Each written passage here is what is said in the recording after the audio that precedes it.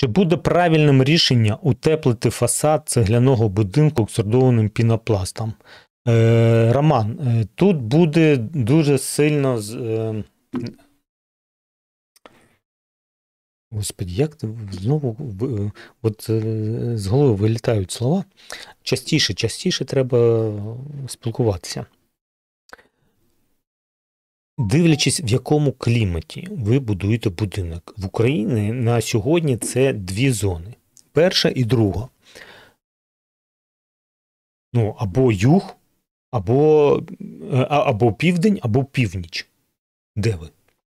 По-друге, е, треба зробити розрахунок і подивитися для вашого клімату, якої товщини треба ЕППСу, щоб зона конденсації була в утеплювачі.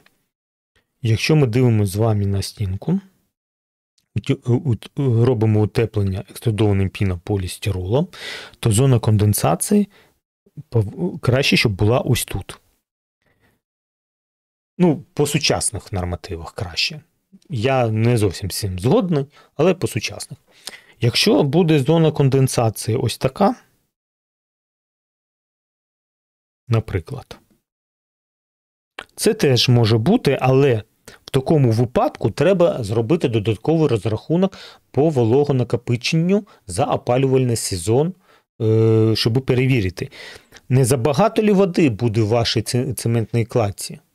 Якщо не, вона встигає висохнути за літо, ну ніяких проблем нема. Воно все працює. А третій варіант це отак: стіна і утеплювач. І от ви робите розрахунок, а зона конденсації ось тут. І перевірочний розрахунок по вологонакопиченню говорить про те, що стіна не буде встигати висихати. І з кожним роком вологі буде більше, більше, більше. І через деякий час, через год, рік, два, три, грибок на стіні. Все. Так от яка відповідь?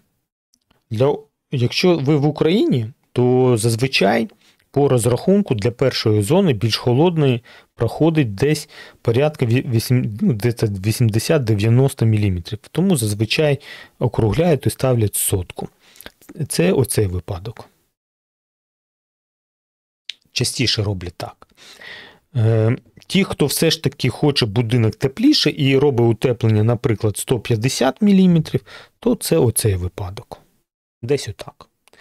А той, хто будує будинок для того, щоб його продати, або для того, щоб зекономити, то це 50 мм.